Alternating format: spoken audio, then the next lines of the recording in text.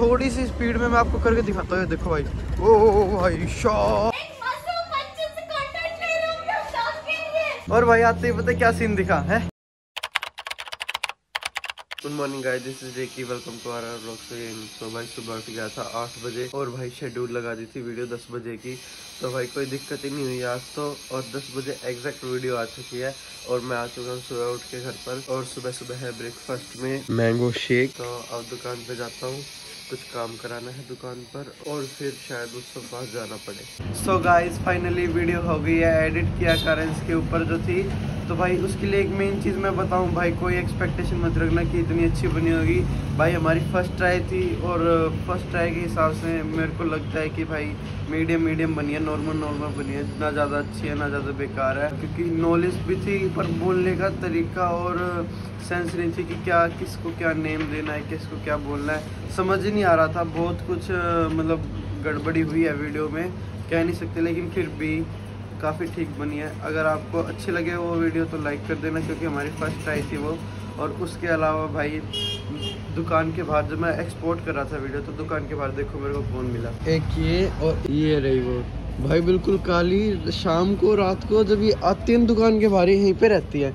हाँ तो मैं कई बार धोखे में हो जाता हूँ कि भाई, ये पब्बी है। तो आज इनके लिए भाई, ये आगे बिल्कुल दुकान के आगे ऐसे बैठ के दे आ गई इनके तो इनके लिए मैं ले आया एक दूध की थैली और दो पाले जी।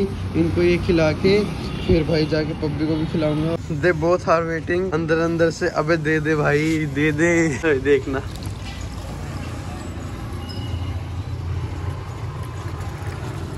वाह भाई, खुशी खुशी।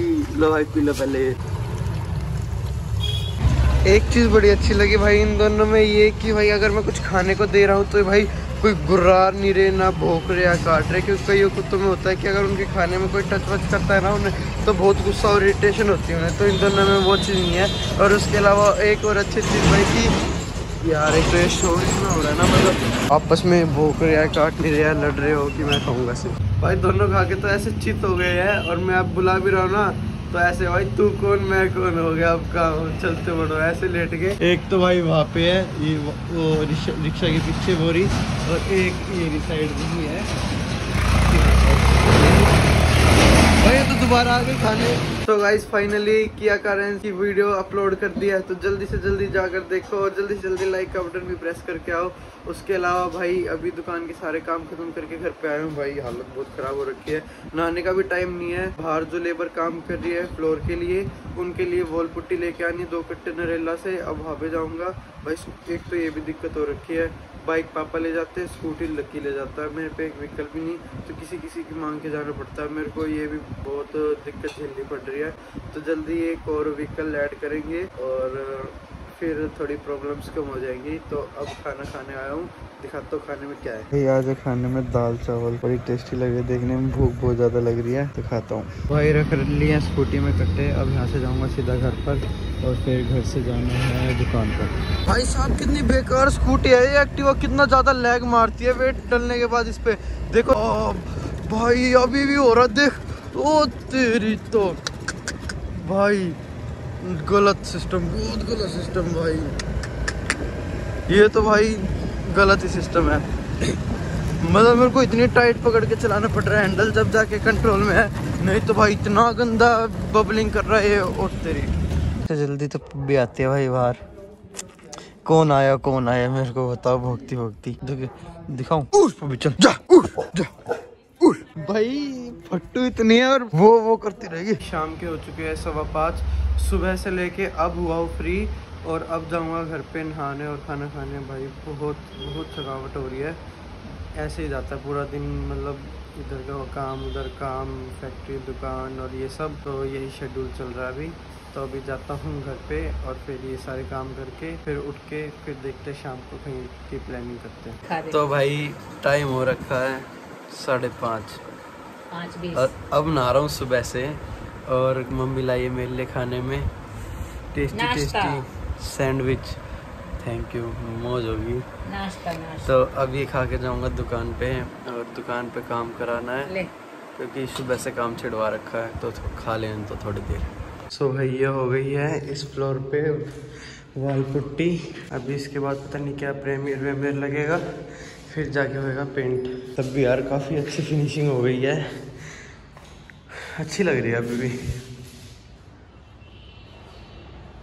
बाहर का क्या मस्त सीन लग रहा है। और पब्बी कंचाक वाली क्या हाल है तेरे पब्बी ने इतने भाव बढ़ा लिए हैं सुबह से अब मिल रही है। और एक बार कह रहा हूँ ना भाई चल बाहर घूमने चलते हैं। कोई रिस्पॉन्स नहीं। अब सो so गाइज़ अभी आया हूँ नरेला मामा के घर पर क्योंकि जो मेरे बड़े वाले मामा हैं वो कल जा रहे हैं मतलब लीव कर रहे हैं इंडिया और वो जाएँगे यूके यूनाइटेड किंगडम अपनी फैमिली के साथ। तो लास्ट टाइम उनसे मिलने आया हूँ और उनके बच्चों से मिलने आया तो अब उनको भी दिखाता हूँ लोग में आज। अरे क्या हाल है मोटू के? बढ़िया है। कैसा है तू? बढ़िया। भाई क्या तू पप्पिया ले रहा है? कल चला जाएगा तू फिर कब मिलेगा अब? मिलूँगा फिर किसी त्योहार पे आएँगे। त्योहार पे? और सुना। सो so गाइस ये है मेरी बड़ी मामी जी। ये चिकी कज़न ये छोटी मामी जी ये मम्मी ये छोटे मामा ये मेरी नानी जिनको हम कहते हैं माँ शुरू से ही माँ कहते आ रहे हैं और ये पापा। तो this is our last meet तो इसके बाद चली जाएँगे मेरे मामा की फैमिली फॉरन यूके और क्या क्या पता साल दो साल में कब मीटअप हो। सो so, लास्ट बार मिल रहा हूँ फैमिली के साथ।